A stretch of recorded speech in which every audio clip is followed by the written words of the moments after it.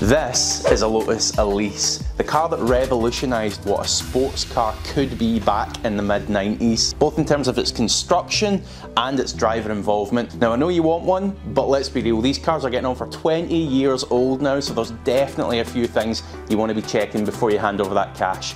So make sure you cover all the points in this video. Let's go.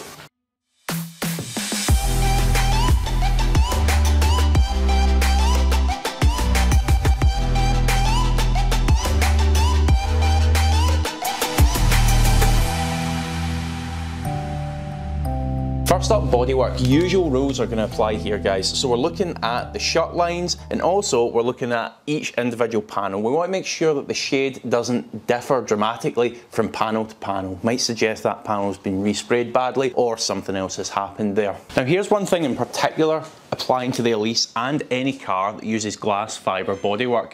It's called osmosis, which I thought sounded a bit like a joint disease, but it's actually when the moisture gets trapped beneath the paint and it manifests itself as a kind of bubbling or flaking of the paint. So again, go around all the body panels and check that that's not an issue. Next stop, front of the car, because remember, the radiator actually sits under here on these cars. And due to that positioning, it can be prone to both damage and a bit of corrosion as well.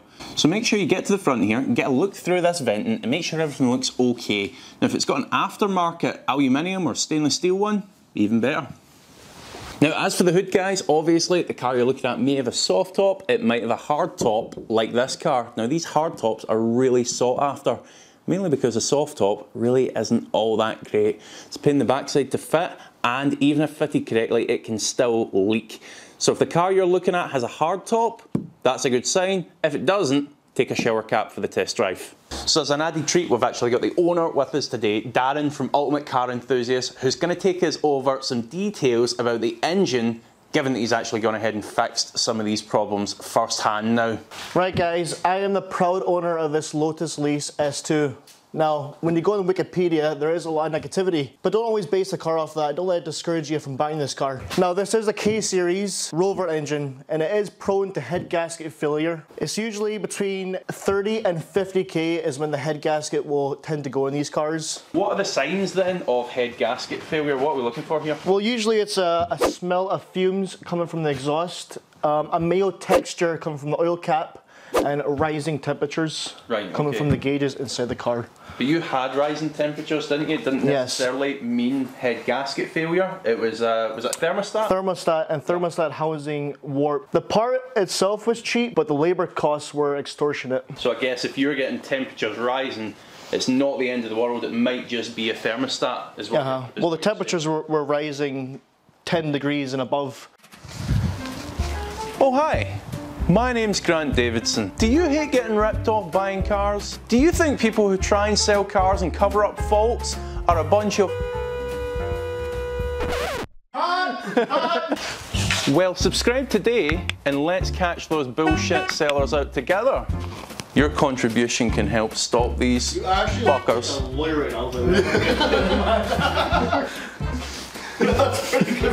now something I always make a point of mentioning is we want to look at the tyres, we want to look at the brakes, we want to look at these wear components to make sure you're not buying a car and having to fork out money right away. No one likes that. Now if the tyres are worn, the brakes are worn, it's not the end of the world, but these are definitely things that we want to pick up on and bring up with the seller. These are great negotiation points to keep money in your pocket. Now usually at this point, I would say get a look at the sills, get a look at the subframes to make sure there's no corrosion on there.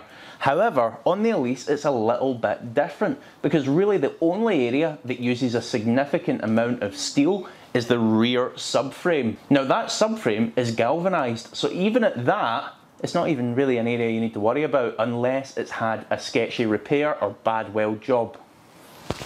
Could you just touch my face, Darren? on the camera. Okay, it should be focused. And so guys, onto the job that no one really likes when we're viewing a used car. But we need to get down, we need to have a look at the underside. Now it's imperative that we do that on the Elise. Now the reason for that is because this high-sided tub and subframe setup, which was really revolutionary at the time and helps keep this car's weight down, also responds really, really badly to crash damage. So we want to have a look underneath we want to make sure that everything is straight and clean. We look at each corner of the car and make sure that there's no obviously new components fitted under there. Now, if it is worst case scenario, you buy a car and you need to replace the tub or say the rear subframe, that's gonna be really troublesome because according to Lotus, they actually lost the jigs for these components. This is a bit of a weird thing to lose, really. So one of the maybe more obvious problems you're going to have with the Elise is if you're of taller or larger stature perhaps. So they're not exactly the easiest to get in and out of and for your entertainment let's watch 6 foot 4 Harry attempt to get in and out.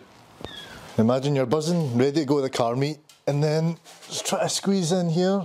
Oh, there's my head hitting the roof. Oh, there my legs stuck. There we go. Left leg in, right leg in and there you go, you're ready to go. Actually try to get out. So you pull up at the local Asda petrol station, up, you put 15 quid in, you're getting looks for the inside of the shop, and you need to like crawl out, and then boom, there you go, ready to fill up. so it's not exactly the most practical of cars. You probably wouldn't want to pick your nan up, let's say that. Now, as a result of that, guys, uh, back on a more serious note, the car you're looking at check the door cards for accelerated wear and also the seats and these sills. Because it's not the easiest to get in and out of, people tend to sort of drag over them, it can kind of accelerate the wear. So you don't really as much as sit in an Elise as you do kind of wear it, but nonetheless it feels really, really special, a really, really focused car. If anything, it makes my R8 feel like a bit of a sofa. Now something else you might want to consider before the point where you find yourself here, sat in someone's car, about to buy it, is remember these early Elises, there's no power steering, there's limited electrics, there's no stability control, there's no traction control.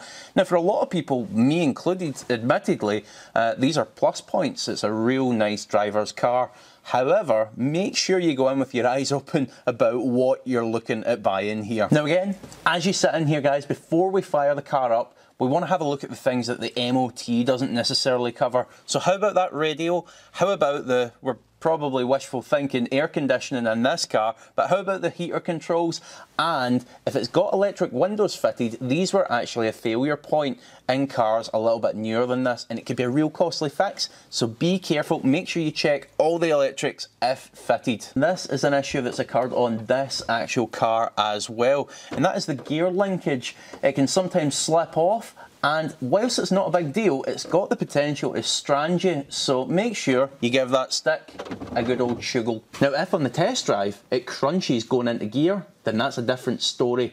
Likely the synchros are getting tired or completely toast and requiring change. Now that's a rebuild job and it is pricey, so make sure that's not the case. And if the seller tells you it's normal, don't believe it. It shouldn't crunch going into gear. Now once you've actually got the car out on the road, which I'm sure you're just dying to do, it should feel quick. Although it's a relatively low power output, the car is pretty lightweight. So it should definitely feel strong, shouldn't be hesitant in the slightest in terms of power delivery. So Grant, I have a question for you. Yes. Does This car make you feel like a boy again? Makes me feel like a man. Does it? Makes me feel like a little girl. On that test drive, guys, the car should feel sharp as anything. Even today, the Elise is still world renowned for its handling abilities. Now that being said, they aren't an overly firm car, they're really nicely damped, and despite being razor sharp and changing direction like a housefly, it still maintains composure over bumps because they are so nicely damped and set up. So again, any crashes or lumps or bumps that you're getting as you go over speed bumps or potholes in the road isn't normal. And that being said, it's not the end of the world, but again, good negotiation points to bring up with that seller. Could be that a shock is getting tired, could be that a bush is maybe worn out. It would really take a little bit more investigation. Alright guys, and one of the last things for you to try on that test drive, and that is the clutch. Now, as I've mentioned in other videos, best way to do that is get yourself to an incline, maybe 3-4,000 RPM, and floor that throttle. Now what we're looking for there is to make sure that the RPMs, the revs of the car, climb proportionally to the vehicle speed. If they don't and we just get the revs going shooting up, then new clutch required, I'm afraid. Don't let the seller pull a fast one on you. Make sure you mention it and either get considerable money off or, I'm afraid, walk away from that car. Now finally guys, and this is important, make sure you enjoy the process of shopping for and getting your very own Lotus Elise. To my mind, there's still a sports car bargain and one of the most focused cars you can buy today. Now if you're looking at a car and it's got a problem you're maybe not too sure about, or you own one of these cars and you have a problem you're not too sure about, go ahead and drop a comment in the comment section below and we'll come back to you and help you out with that. But for now, good luck with finding your perfect Lotus Elise.